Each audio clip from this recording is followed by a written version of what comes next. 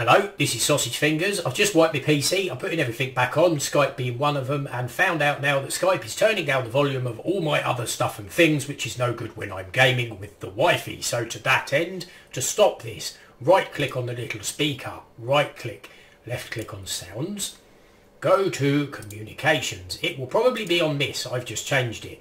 Put it to do nothing, press apply, press OK, and Skype will stop turning everything else down. That is it. Hope it helped. If it did, give us a like and a subscribe. Laters.